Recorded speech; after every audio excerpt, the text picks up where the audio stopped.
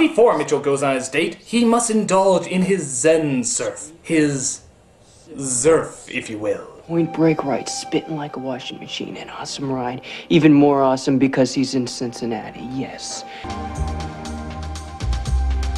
You know, I really didn't think a surf fetish could exist, but now I'm convinced it does. And this kid's got it bad. I mean, this is sick. This is actually kind of sick. If surfing was a girl, she would have had a restraining order out against him.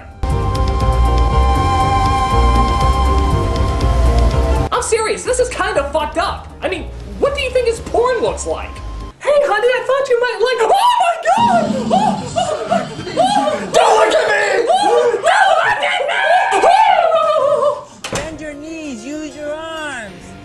So while Wiley starts to strike out on his date, Nikki and Mitchell seem to be hitting it off pretty good. So if you could have lunch with any three people in the entire world, who would it be? Well, I'd have to say Tom Curren, greatest surfer alive, and um, maybe Gandhi. The world's greatest surfer and Gandhi. What a combination. I choose the world's greatest surfer to show that I'm athletic, and Gandhi to show that I'm deep.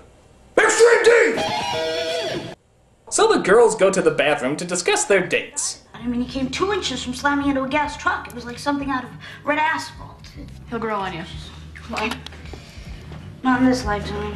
Oh, now we know why she turned into a lesbian in the Brady Bunch movie. My dad shot her. It was weird. Wait a minute, what did he say? My dad shot her. It was weird. Dude, what the hell was that story about? No, seriously, can we just skip this bullshit and hear what story ends with my dad shot her? Tell me you don't want to hear that story instead. I mean, really, tell me. But unfortunately, this story continues. As we see one of the preps comes in and starts moving in on his girl. Well, looks like Nikki's got herself a new little friend. Sort of a prep thing we got going here. Hey, what do you say we get together some other time and go bowling or something?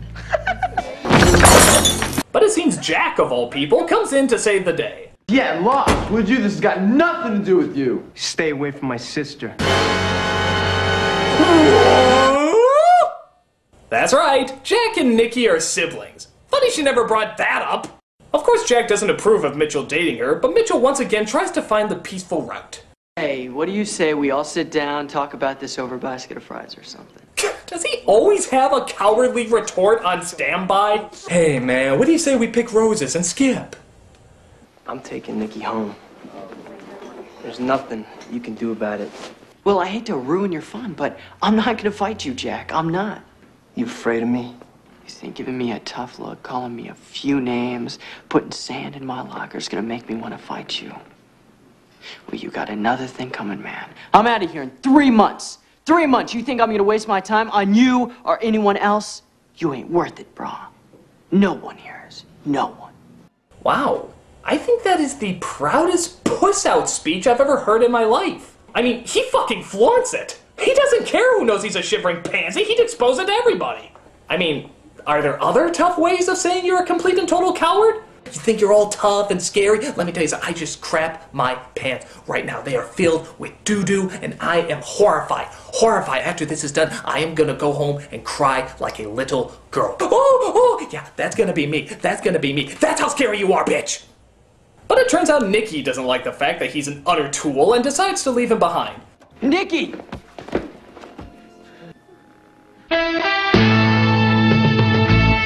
So everybody abandons Mitchell, even Wiley, which causes him to stay up all night trying to figure out what he did wrong.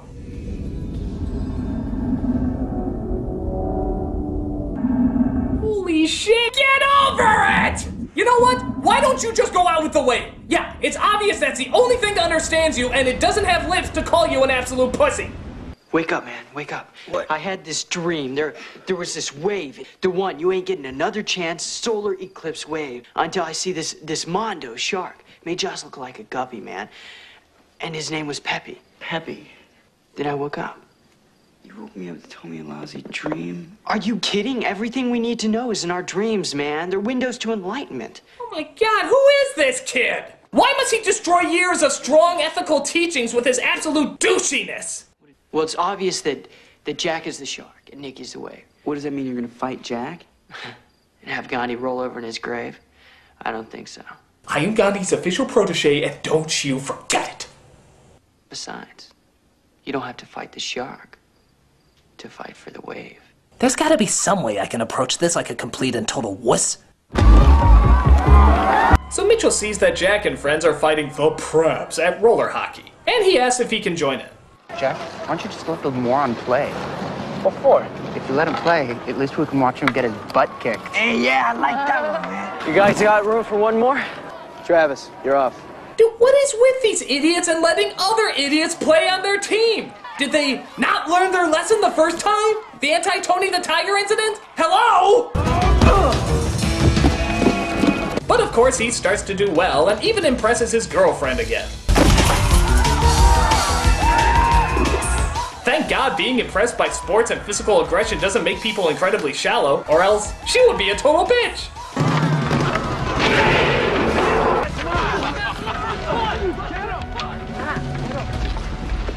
No, that is not the code of the pussy. Why didn't you do anything? Mitchell!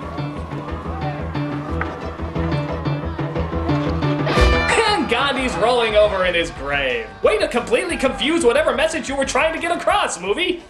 You were right! There are some things worth fighting for.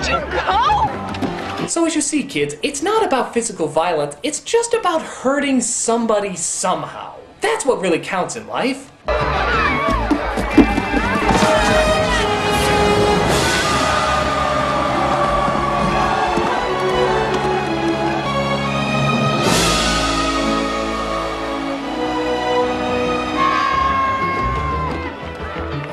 So, then all the reindeer loved him. But it turns out there's one other little problem. The movie's just a little over an hour done. How the hell are we gonna fill up the rest of the time? Been challenged by the preps to a little skating race. We're gonna settle this thing once and for all. We thought maybe you'd, you know, want to come and skate in our team. Where's the race? Devil's Backbone. It's only the most dangerous hill in the whole town. Then why do this? Because we're tired of being put down. Treated like low-life trash. Losers! Man, we're somebody. This is our chance to prove it. But we can only do it as a team. We gotta show them that picking on people because they're different isn't right! Will you help us, person we recently picked on because he was different? Of course he says yes, and the most extreme race from the most extreme rivalry finally takes place. The Jets are gonna have their day tonight. The Jets are gonna have their way tonight. So the race is on, and at first, it's actually not a bad race. There's surprisingly some good skating, and it even manages to be a little intense.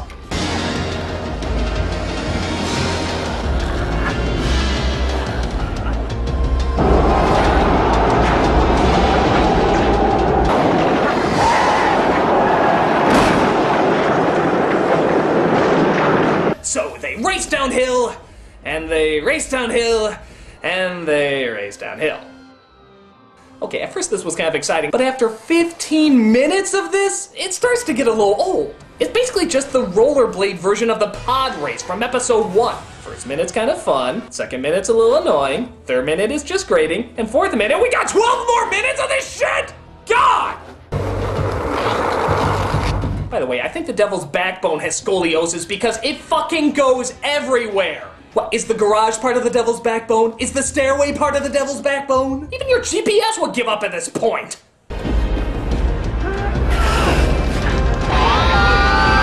Uh, no, that doesn't happen. Unless your wheels are encased in flubber, you just jump the shark. Oh, I'm sorry, I mean Peppy. But Mitchell gets lost and can't find his way back to the track. This looks like a job for cheating.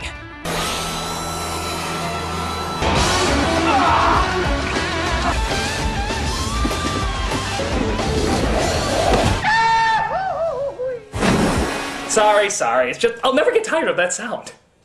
So, of course, Mitchell wins the day and everything turns out great. We hope you enjoyed this extremely long race, and we apologize for the rest of the movie that had to come with it.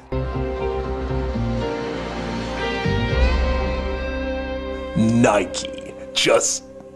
Just don't do what this idiot does. And that was Airborne, the epitome of 90s blandness. This is one of those films that should be placed in a time capsule. I'm not saying it totally sums up the 90s, but it sums up how the media saw the 90s. And it's pretty much every 90s cliche that existed at the time.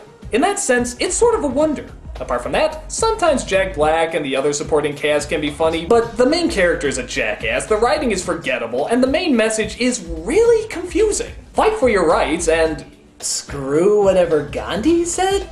I don't know. But if you're looking for good generic stupidity from the decade where these guys were popular, this would probably be your best bet. Take it for what it's worth. I'm the nostalgia critic, guy, remember? To the extreme!